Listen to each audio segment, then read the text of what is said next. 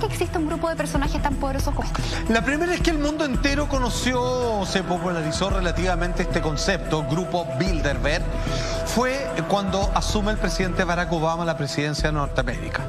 Por la, por la siguiente y sencilla razón, que es cuando este hombre va a dar una promesa de campaña, cuando se postula, obviamente, y que claramente las encuestas lo favorecían tremendamente cuando él hace una rueda de prensa y los periodistas están esperando y ven como él desciende, digamos, desde su lujoso automóvil de aquel momento que prepararon para esto producto de su imagen y de cómo no alcanza a llegar al podio donde él va a dar el discurso a los periodistas y es interceptado por un grupo de personas que lo transporta unos 100 metros más atrás y lo sube en helicóptero y le da una vuelta de 15 minutos después regresa las personas que estaban ahí presentes comienzan a reconocer a algunas de las personas que iban dentro de ese helicóptero y finalmente son chequeados y corresponden a algunos de los principales dueños de medios de comunicación y financistas de una cantidad de empresas internacionales como hay pocas. Y él, al parecer, su discurso no lo mira, o sea, la hoja que tenía planteado ahí, decide no mirarla y empieza a hablar sobre el nuevo orden mundial y todas las demás cosas. Quedó claro de que Barack Obama fue uno más de los tantos presidentes norteamericanos convencidos respecto a las negociaciones que el grupo Bilderberg hace. El documental La decepción de Obama, que hoy día prácticamente no se encuentra y que este programa lo dio a conocer, se dice, para Latinoamérica, en muchos congresos a los que yo he asistido, me dice que fue gracias a este programa que pudieron entender el fenómeno del grupo Bilderberg, el día de hoy está dando mucho que hablar. ¿Por qué? Porque el mundo está patas para arriba.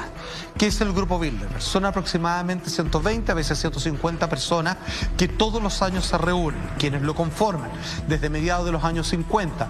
Su nombre corresponde al, al título que lleva el hotel se llama Hotel Bilderberg, cuando fue, eh, se llevó a cabo su primera reunión en Holanda en 1953-1954. Hotel de la propiedad del príncipe Bernardo de Holanda, dicho sea de paso. Dicho sea de paso, que por supuesto también está involucrado. Cuando vemos figuras en donde hay expresidentes, actuales presidentes, donde está, como te decía, eh, eh, la, escritora de, Harry Potter, donde está el editor en jefe de The Economist, donde está Henry Kissinger, donde hay gente de la realeza, donde están algunos, no todos, pero algunos de los más grandes empresarios, donde está Soros, donde está Rockefeller, donde está su heredero y un largo etcétera, en algún momento, cuando comenzaron a perseguirlos ciertos grupos de independientes, se dieron cuenta que esto existe por una única y sencilla razón. El mundo, que no quepa duda, está revertido en poderes económicos que son más poderosos que los gobiernos que albergan estos personajes. Y para que se juntan lama es simplemente para contarse los planes que tienen durante los próximos 365 días y ver cómo no se pisan los talones entre ellos mientras se reparten esta torta que nosotros llamamos el planeta Tierra. Exacto, creo, que tengo entendido que durante muchos años, eh, año a año van cambiando los invitados. Hay gente que la invitan durante alguna ocasión, por ejemplo el caso de la autora de Harry Potter, pero que no tiende a ser parte del grupo específico, de los que son, por decir, los cabezas de serie dentro de este grupo. Ahora, ojo, este grupo, más allá de funcionar con este nombre Latinoamérica, en Latinoamérica también pasa. Una vez al año el grupo de, las riquezas más grandes de todos los países del Cono Sur se reúne una vez al año para ver también cómo pueden perpetuar sus riquezas. Esto no es solamente algo de uso o pareciera que es lejano a nuestra realidad, no, no nos equivoquemos. Ahora, por otra parte, a mí lo que, a mí lo que me... A mí, hay un personaje del grupo Bilderberg para mí es el más complejo o el más difícil eh, el que más me provoca conflicto que está ahí, que tiene que ver con Henry Kissinger. Para mí Henry Kissinger es un hombre que durante 45 años fue el hombre más poderoso del mundo, era el que estaba a cargo de la FIA, de la, de la, CIA, del FBI, a cargo de todo lo que tenía que ver con la investigación secreta de Estados Unidos, y también fue el hombre que causó un montón de debacles políticas en muchos países, incluido Chile, con la ascensión de eh, Augusto Pinochet tras la caída o tras la muerte, la verdad, de Salvador ayer. Entonces, me parece que estamos frente a un personaje que se junta con los grupos más ricos, con la gente más rica del planeta, la gente que tiene el dinero para poder mover todos los hilos, y él es un hombre que entiende perfectamente cómo se puede desestabilizar a un país. Eh, absolutamente. Entonces creo que creo que eh, las cosas, a ver, el grupo Bilderberg no mide o no dice, por ejemplo, como mira, a ver, vamos a hacer esto, pero vamos a tener que aplastar a 5.000 personas, mejor no lo hagamos. Es todo lo contrario, es como vamos a hacer esto y los que tengan que caer en el camino o perderse no es lo mismo. El fin es otro, es una carrera de largo aliento, como decía Zapata, es una carrera de un año. Entonces en ese año te da lo mismo el, el, control de daños que hagas, porque finalmente son gente que va a tener que quedar en el camino para que el grupo pueda seguir adelante. Y contando con gente como Kissinger, que maneja un nivel de información muchísimo mayor a muchos de los que se encuentran ahí, me parece que ese tipo de cosas pueden seguir pasando. Insisto, cada vez que uno ve que un país está desestabilizado políticamente, donde hay algún tipo de interés, pongamos el caso, por ejemplo, al petróleo, siempre me parece que está la mano de Kissinger y el grupo Bilderberg detrás. Por supuesto. Claro, y uno ahí también se cuestiona por qué tanto secretismo. Eh, eh, en este grupo de 130, 140 personas, que algunos son invitados eh, por momento, yo por qué destaco a la autora de, de Harry Potter? Porque creo que es súper peligroso cuando estás involucrado involucrando personajes de todas las áreas. Eh, eh, en el fondo, la autora de Harry Potter, eh, conocida por todo el mundo, los libros, qué sé yo, es realidad que se empieza a inventar y que se empieza a adquirir desde además la más tierna infancia. Yo, acá para poder hablar y quiero que... Perdón, hubo una acusación de parte de la Iglesia Católica con respecto al autor de Harry Potter porque, bueno, ellos también tienen otra información que tiene que ver con estos padres fácticos. Decían, esto yo no lo puedo asegurar y tampoco me molesta del todo, la verdad. Es que decía que Harry Potter y otras novelas a las cuales le estaban dando mucho poder porque ellos son dueños además de las editoriales que la infunden. O sea, el éxito de Harry Potter es por sí mismo, pero además, digamos, los sobrepueblan, digamos, son los dueños de compañías, de empresas cinematográficas, etcétera, etcétera. Decían que era suplantar por el poder de la magia y ciertos esoterismos en las nuevas generaciones versus, digamos, el credo cristiano, que no le convenía a ellos. Es que acá no solamente estamos hablando de las personas más ricas del mundo, estamos hablando de las personas más poderosas en todas las áreas, de más, más poderosas en el mundo de la cultura, más poderosas en el mundo de, la economía. Y acá yo, quiero destacar unas frases que a, mí, perdón, pero ya que estamos en conspiración. Bien, Mike, lo leyó. Eh, eh, no, si leí este libro, Los Nuevos Brujos, y también quiero destacar unas de La Verdad de la Pandemia. No es canje ni nada, ya, pero, pero de verdad que es porque lo he estado leyendo. Pero es canje. regalado los Nuevos Brujos dice, eh, digámoslo, Bilderberg, Bilderberg no nos quiere, simplemente nos utiliza y piensa que ya somos demasiados en esta tierra. Ojo con esto, por algo selecciona esta frase. Eh, somos demasiado en esta tierra. En este libro justamente se habla de, un periodista que es el que más se ha preocupado de este grupo y que entrevistó a una persona de este, este grupo de 130 Poderoso bajo anonimato. ¿Qué es lo que dice este grupo? ¿Qué es lo que dice este periodista, perdón? Que se están buscando distintos fines. ¿ya? De hecho, destaca 18. Entre ellos, quiero que escuchen el punto 8 que dice, lo que busca este grupo es la muerte de 4 mil millones de personas, oh. em, a las que ya se definió en algún momento como estómagos inservibles en un programa iniciado en la década de los 70 y que debiera concretarse con éxito para el 2050. Estamos hablando de muerte, ¿cierto? Otro de los puntos que destaca, que se quería llegar más adelante, es a controlar el agua. Estamos claros con todo eso. Esto lo tengo en los nuevos brujos, ¿ya? Yo me voy a otro libro que es de la autora Cristina Martín Jiménez. Sí, que ella es tremendamente destacada, fue uno de los sí, grandes Es una española ella. Que se llama La verdad de la pandemia, que me lo regalaron, también es buen libro, pero me concentré más en los nuevos brujos, pero también destaqué algo de acá, querido Salfate, que, espérenme, dice, eh, las élites que nos gobiernan en las sombras son las que básicamente van a triunfar. Son los amos del mundo que se mantienen ocultos porque de ese modo les resulta más fácil alcanzar su objetivo que nosotros que el dominio mundial. Atención con esto. En el 2010, dice la autora, descubrí que uno de sus últimos mecanismos de control total era la táctica de la pandemia. Por eso, cuando los medios de comunicación empezaron a hablar del COVID-19, supe que habían vuelto a activar el plan. Acaban de poner en marcha una operación de guerra psicológica, una acción secreta conocida por un número muy reducido de personas en la que, según eh, comencé a observar, participaban funcionarios de distintos estados. Hasta ahora ustedes están, dirán, Michael está mezclando libros, qué sé yo, está loco. Maravilloso, ya. ¿Qué es lo que pasa? Lo estoy mezclando a cómo se está llevando a cabo la pandemia, mm. a cómo está funcionando. En ningún caso, amiga, amigo, en tu casa, estoy diciendo que la pandemia no existe. Estoy diciendo cómo se está llevando a cabo la pandemia. Estamos hablando de que Nuevos Brujos, según la información, nos comenta que el plan es eliminar a 4 mil millones de personas y controlar el agua. Que no le sirve para el juego de la economía que ellos plantean. ¿Qué es lo que está haciendo el COVID? Eliminando a las personas de clase baja y a los ancianos. ¿Qué es lo que pasa? Habla de que en un futuro este grupo quiere controlar el agua, ¿cierto? Yo me voy a reportajes de Argentina, del Clarín, de acá de Chile, del Dínamo, donde habla, no hay, no hay prueba, pero sí se está en investigación porque la denuncia no fue con una prueba por medio. El avance de la pandemia. Un médico dijo que Pfizer pidió de garantía glaciares y permisos de pesca para traer su vacuna al país. Estamos hablando en Argentina justamente. Esto fue un médico eh, cirujano, eh, sanitarista y exsecretario de prensa de Carlos Menem, que dice que les pidieron una nueva ley con bienes inembargables que incluían justamente glaciares. Imagínate, yo garantizo la vacuna en tu país, pero necesito, pero necesito que me des de agua. Oye, pero glaciares más una nueva ley de pesca. Eso me van a perdonar, pero lo, lo linkeo inmediato con el fin 17 de este equipo, de este grupo de 130 poderosos, que es controlar el agua.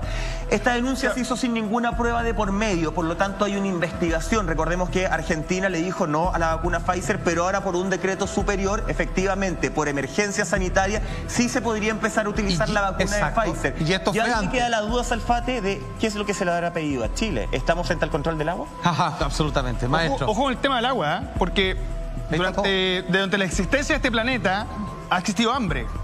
Y el hambre, por más que ha matado a muchas personas, no termina de llegar a los números que le interesaría al grupo Bilderberg. El agua sí.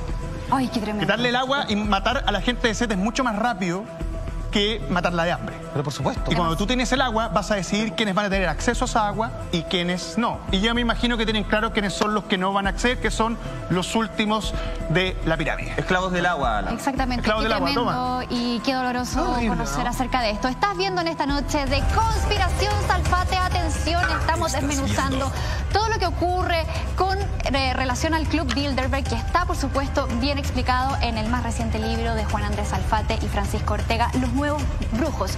Este grupo que nace, Salfate, como a mediados, ¿cierto?, del siglo XX, son poderosos de distintas áreas, de los medios de comunicación, de empresas eh, que tienen que ver con el petróleo, por ejemplo, con, bueno, en fin, un grupo que con las energías en gran parte. Puede armar el mundo a su pinta. Ahora, lo que tú mencionabas de, esa autora, de Cristina Martín Jiménez, que es una escritora y una periodista española, que ella se ha dedicado durante muchos años a investigar al Club Bilderberg. Pues. De hecho, eh, tiene declaraciones bien impactantes en donde ella hace ciertas reflexiones, en donde hace unas vinculaciones bastante interesantes. Dice, eh, personajes del Club Bilderberg suelen ser consultores de otras empresas. Por lo tanto, ellos tienen esta capacidad de irse metiendo dentro de distintas instituciones y que este poder se vaya ramificando y se vaya ocultando, porque estos consultores pueden ser al mismo tiempo consultores, por ejemplo, de medios de comunicación, consultores de empresas petroleras, consultores de bancos.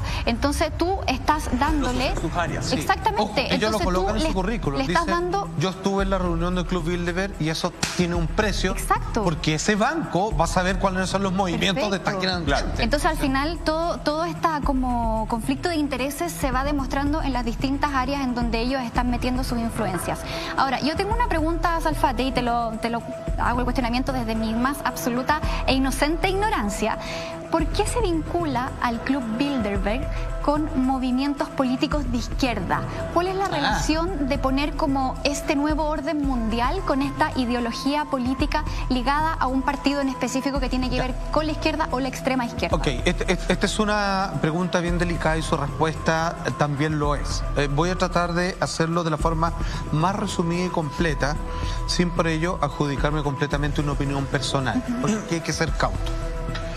Lo que se ha demostrado antes de la existencia del Club Bilderberg es cuando sus socios fundadores se dieron cuenta que, como lo hace, si usted ha ido alguna vez a un casino y ve cómo juegan los millonarios a la ruleta, en realidad ellos han descubierto que aquel que tiene una gran cantidad de poder para manejar y distribuir, lo que conviene es nunca trabajar con la suerte y decir, le voy al ocho negro. No, sino que en varias, y en varias que son completamente opuestas, para darme cuenta de que si yo tengo un manejo de la totalidad de las posibilidades, puedo en algún momento descubrir las tendencias. ¿Por qué estoy diciendo esto? Antes de la Segunda Guerra Mundial, los fundadores del grupo Bilderberg se dan cuenta de que para tener éxito y colocar las empresas y tener los monopolios en cualquier país que sea, yo tengo que financiar tanto al modelo capitalista como al de extrema izquierda. Porque a sabiendas de que yo necesito no que gane uno, porque no tengo ninguna preferencia, yo necesito que uno se convierta en el otro y que en el otro, cuando se sacia de sí mismo, vuelva al anterior como solución. Entonces, ¿por qué está asociado actualmente la izquierda? Porque lo que está haciendo este grupo es tratar de generar una deformación de las bases del sentido común. Según lo que plantean los estudiosos del grupo Bilderberg, están apoyando a la izquierda porque la izquierda al salir a buscar eh, eh, tener el apoyo de los jóvenes o de los nuevos pensamientos más progresistas, lo que quieren hacer es desvincular todas las viejas bases del pensamiento establecido, religioso, estatal, económico, y a decirle tú, Tomo, ¿tú qué eres? No, yo creo que los conejos son lo más importante y yo me creo conejo. Perfecto, muy bien. ¿Tú qué crees? Yo no sé, yo nací así, pero me siento asá, pero en realidad ahora voy a cambiar de tío. Perfecto, muy bien. Di lo que piensa. Lo que está haciendo a través del discurso de la izquierda muy conveniente, algunos para el lado de los otaku, que van en búsqueda de los jóvenes, desestructurando el sentido lógico y si tú en algún momento tú llegas, te estoy hablando cinco años más, y tú dices, Monty, ¿sabes qué? En realidad yo no soy mujer, no soy hombre, me siento aire encarnado en la piel y quiero que se me respete tú no el este, alguien te dice, nadie te puede decir que no, está en todo tu derecho porque eres una persona que te exige. El sentido común lo están rompiendo para que finalmente puedan meter cualquier cosa. Eso es lo que el grupo Bilderberg en el año 2014 planteó que era la nueva forma ya de entrar a la política a través de los jóvenes. Jóvenes extraviados, en donde se les entregó todo y que ahora no saben para dónde ir y todo les carga, todo les molesta y que son más fáciles de llevar hacia cualquier parte.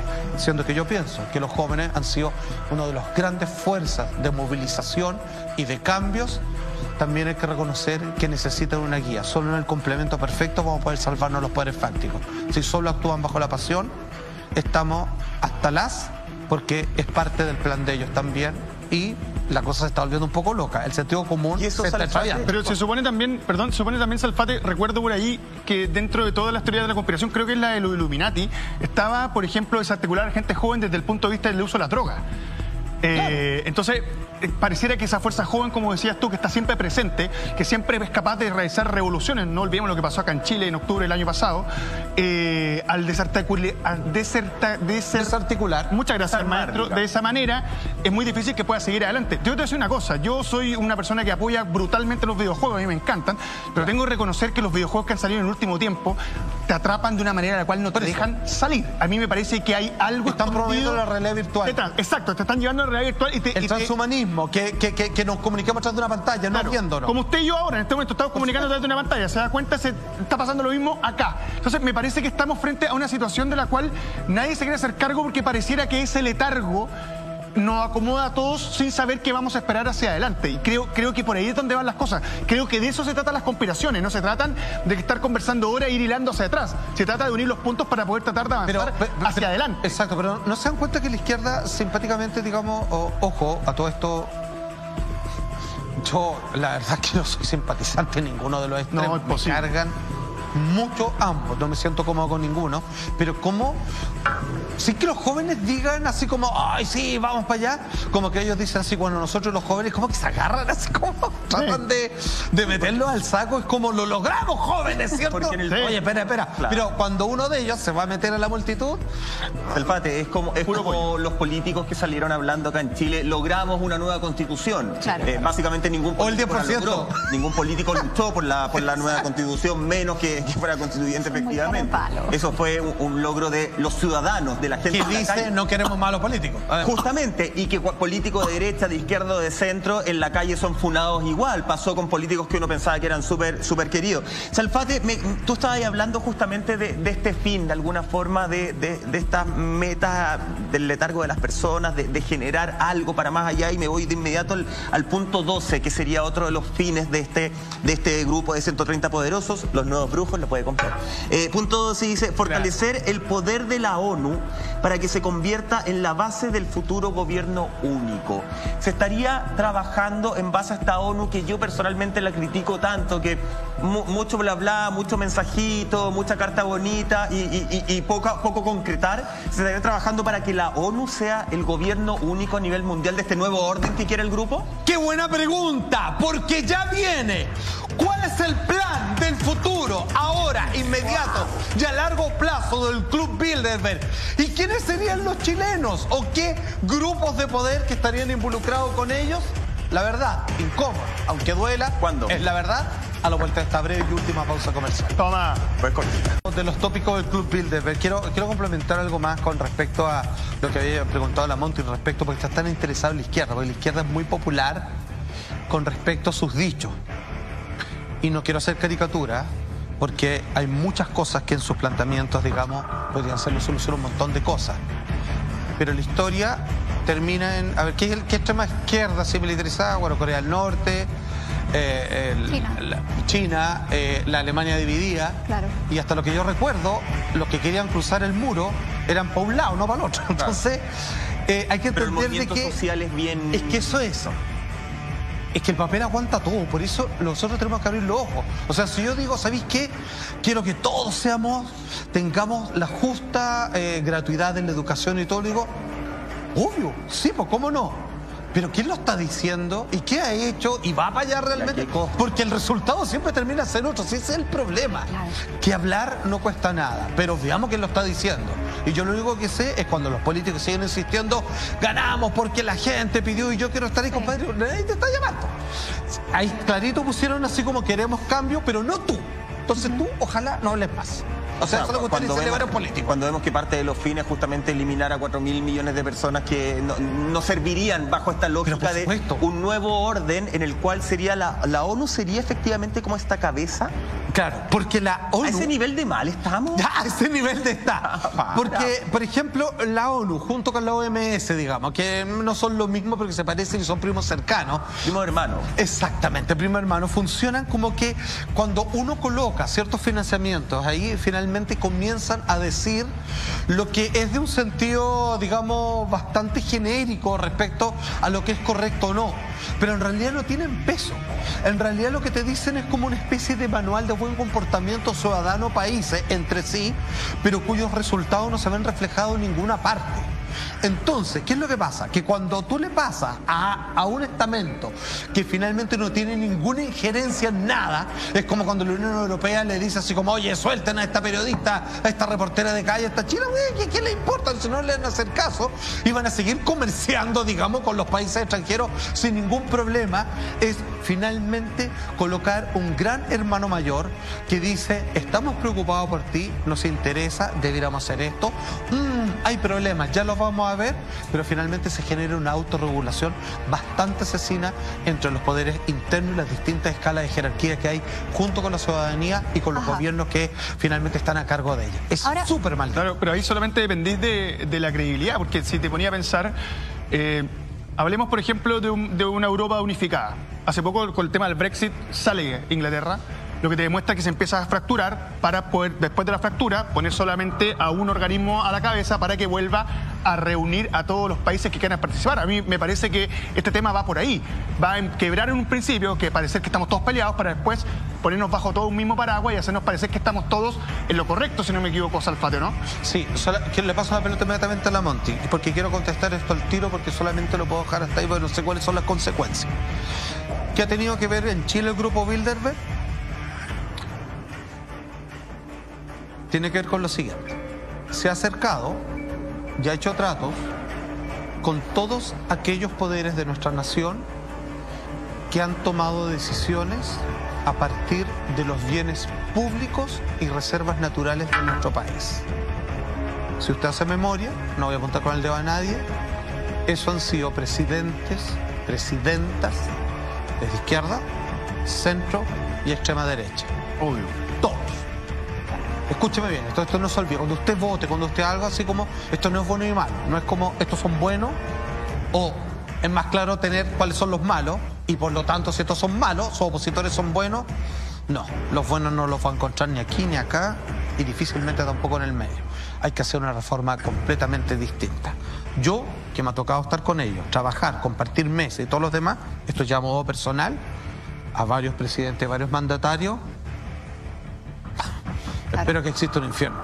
Claro, es que lo que tú mencionas es clave porque al final no tiene que ver con una tendencia política, sino que tiene que ver con el poder y el poder es transversal a cualquier movimiento político, a cualquier persona. Finalmente lo que ellos buscan, como tú decías, Mike, Nos han vendido. este y lo que aparece en, en tu, en tu libro, pues Alfate, es crear como este Eso, futuro gobierno único, que en realidad también es una idea bien loca, porque todo el mundo, todas las localidades tienen una cultura, tienen una forma de ser, tienen una forma de manejarse. Es muy loco también pensar que el mundo pueda gobernarse de una sola manera, porque en todas partes del planeta hay seres bien. humanos distintos. Nos están robando el Entonces, la exacto, identidad. no se puede, pero es que no se puede perder la soberanía de los países porque cada país sabe lo que su gente necesita y se tiene que adecuar a eso. Por lo tanto, es muy, es muy complejo. Qué Ahora, bonito suena creo- globalidad, ¿ah? suena como que es bueno, que es global. Así te roban tu identidad. Tú ya no eres tú, tú eres un Claro, por instrumento. eso que hoy día se hace la... punto, espérame, no es tan loco de pensar. ¿Cuántos países en el mundo se han dedicado a cuidar, por ejemplo, sus pueblos originarios? ¿Cuántos países en el mundo se han dedicado a, valorar? Yo, yo eso admiro, por ejemplo, de Perú.